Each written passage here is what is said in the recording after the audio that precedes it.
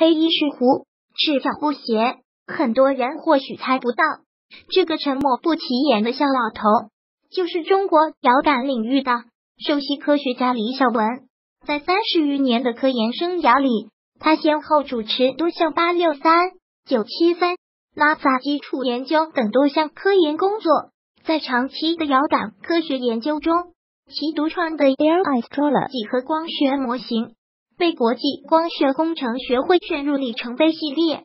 而他和他的团队也有力的推动了中国定量遥感研究的发展，使我国在多角度遥感领域始终保持着国际领先地位。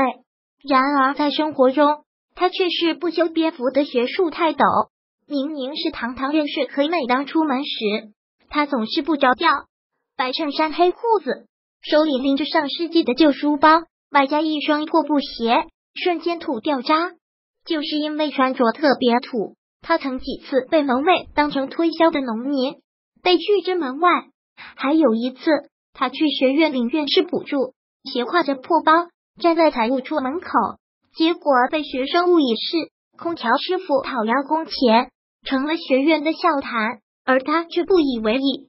其实李小文的不修边幅，不是因为懒惰，更不是因为囊中羞涩，为了帮助贫困学子。他曾捐款百万，只是生活中他一直在做减法，减去修饰，除去冗繁，只有褪去光环，才能安安静静做学问，聚精会神育英才。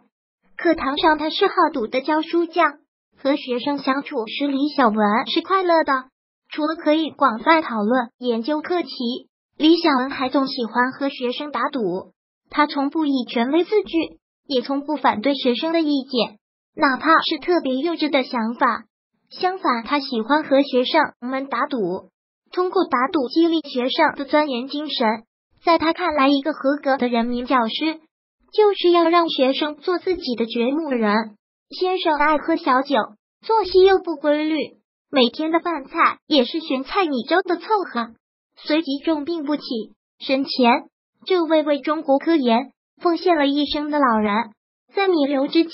留下了这样的遗嘱：不使用急救措施强行延续生命，不浪费国家资源，不拖累别人，一点素心，心系天下，平凡而伟，大不过如此。